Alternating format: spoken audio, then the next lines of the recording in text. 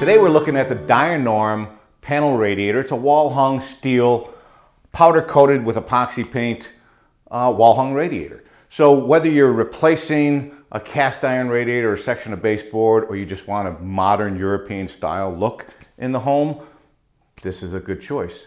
You know, so you can go through the guide and you can choose your panel radiator by size, the dimensions. They're as small as 12 inches tall by 24 inches wide, all the way up to 24 tall by 4 feet wide. Or you can go by the BTUs it emits. So we've got it in the, the catalog both ways.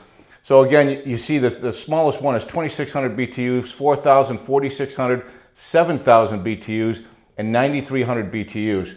Now that's assuming that you're running 180 degree water. So this would be very similar to a fin tube type of temperature.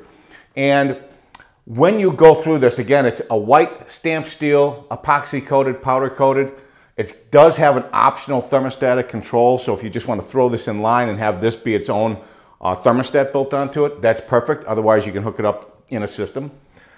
It's got straight or 90 degree fittings that come off. So the straight ones go straight down. So if you were just gonna go straight down into the floor, the 90s would allow it to point back towards the wall in case the, the piping comes out of the wall and you hide everything.